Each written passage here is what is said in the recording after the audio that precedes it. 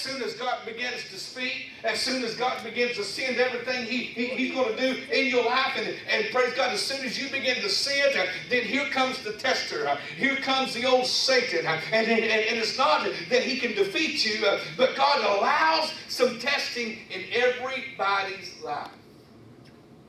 Now, here's what the New Testament believers have come to think through the years. Well, God wouldn't do anything. God doesn't do anything, but He allows the testing. He allows Satan. We see it in, in, in when, when uh, He comes to Job. We see how Satan be, begins to speak and, and, begins to counteract and talk. And so God allows that in our life. Uh, Satan wants to pull out of it, uh, but God begins to speak. And it's not that God's not going to do it, uh, but He sits back and He watches the waiting process.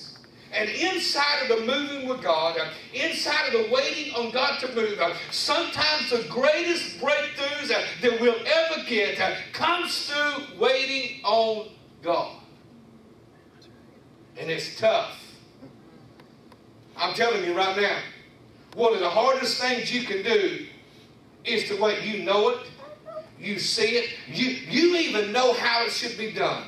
Anybody ever know how it should be done? I mean, you get it in your mind. Matter of fact, you write it down on paper, and you got it all down. Well, when this happens, and this happens, and this happens, Lord, I don't understand. Why ain't you allowing this to happen? Lord, you know I need this job. Lord, you know I need this move. God, you know I need this in my life. You know I can't do this unless I got this much money. God, I don't understand. You spoke this to me. Lord, you know that this is what I need.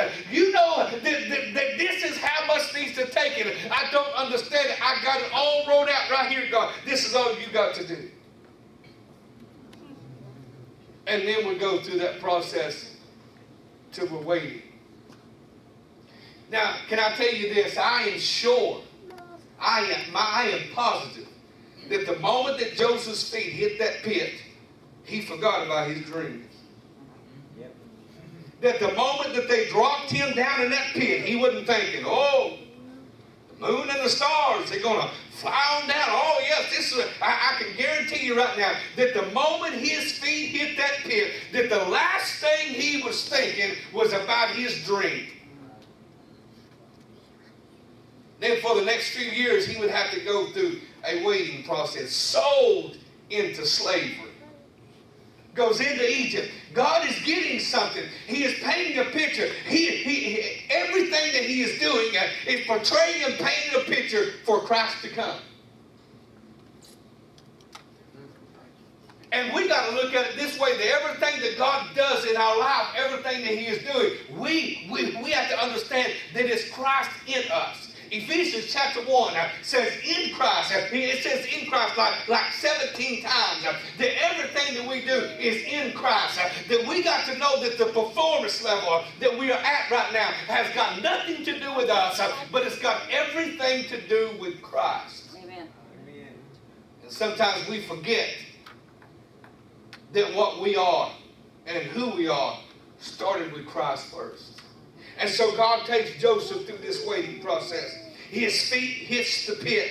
The last thing that he, he is thinking about at this moment was all of those dreams that God gave him and how the goosebumps that he felt when he began to tell everybody what God was going to do.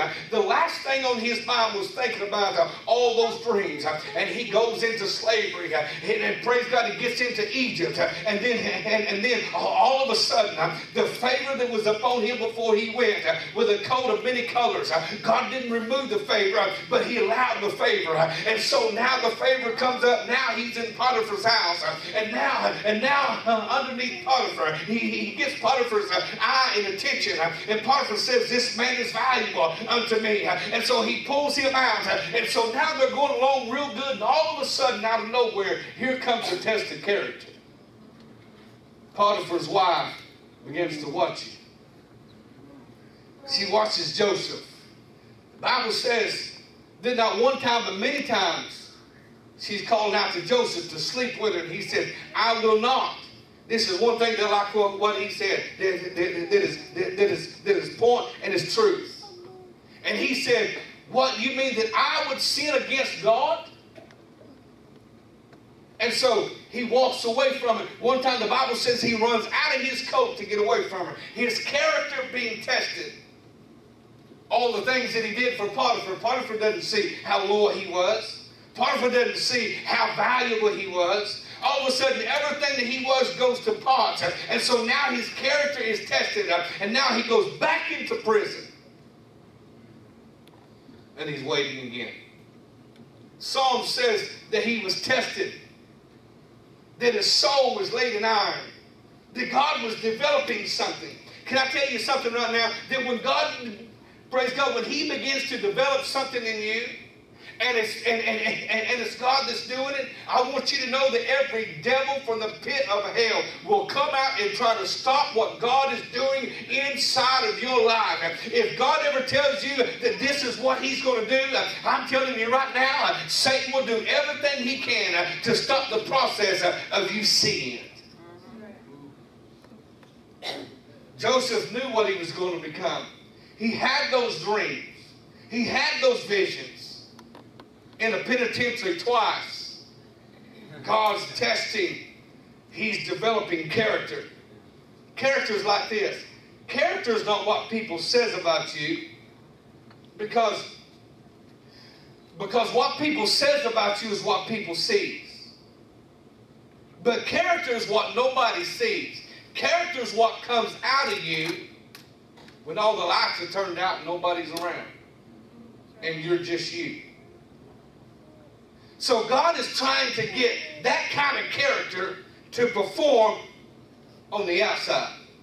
He's trying to get that kind of character that no matter what situation you are in, uh, you have the character of God uh, every step of the way. Uh, that no matter where you're going, that your character for God remains the same. Now, I'm here to tell somebody in here tonight that yes, you're going to have those moments where you become absolutely human. Do you know what I'm talking about?